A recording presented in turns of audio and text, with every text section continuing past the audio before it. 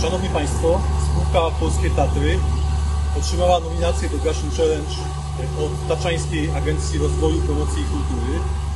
Za nominację dziękujemy Pani Dyrektor Helenie. Wyzwanie przyjmujemy i pompujemy dla Tosi.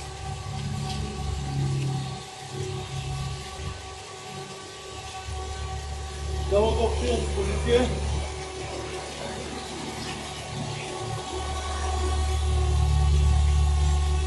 Jeden, dwa, trzy,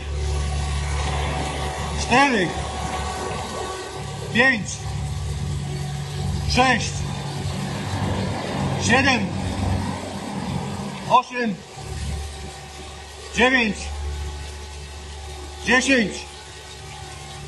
Powstań.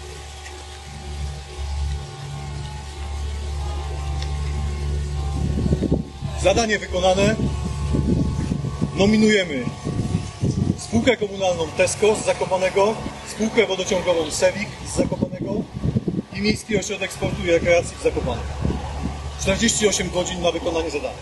Dziękujemy.